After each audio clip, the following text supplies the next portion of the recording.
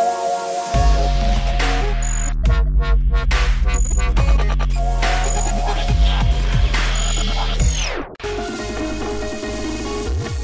Bây giờ lấy nhau về là hai chồng ở đâu nè? Dạ nếu mà em dụ văn nữ cái về được thì về quê em ở anh ơi đừng dùng từ dụ. Ờ.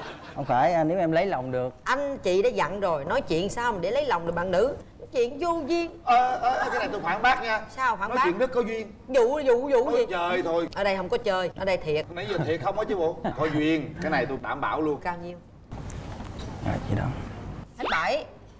Sai. Số tám. Cho chuyện lần nữa đó. Số năm bạn bốn nói thách. Em nói thiệt em đo rồi. Ai đo? cân điện tử đo luôn đó.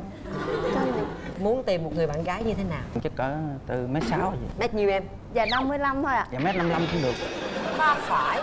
Nói chung là dễ nhìn là được rồi chứ em không có nhu cầu cao lắm đâu. Tại em cũng đâu có đẹp đâu đòi người ta đẹp. Dễ thương nhất nãy giờ là câu này á. Dạ. Có đâu người ta đẹp trai không khiêm tốn đó. đáng dụ lẹ lẹ nha. Dạ đẹp trai lắm má ơi. Trời ơi, đẹp trai lắm á. Để hôm qua coi Thì bên kia chi. thế nào nha. thiệt. Coi giùm em. Dạ em chào anh ạ. Chào em. Chàng trai bên đây thiệt là hài hước. Hài hước Dạ. là thường thông minh lắm. Em thích những người thông ừ, minh đen đen giống anh này nè. À, dạ. nhưng mà đẹp trai anh nhiều. Không thích điều gì ở người đàn ông của mình? Gia trưởng Vũ phu ạ. Vũ miễu được không? Nếu mà anh đó biết nhảy thì được. Cũng lanh lợi lắm rồi quý vị có thể theo dõi ờ, chương trình trên kênh fanpage bạn muốn hẹn hò và xem lại chương trình trên kênh youtube mcv media. Và đừng quên nhấn subscribe.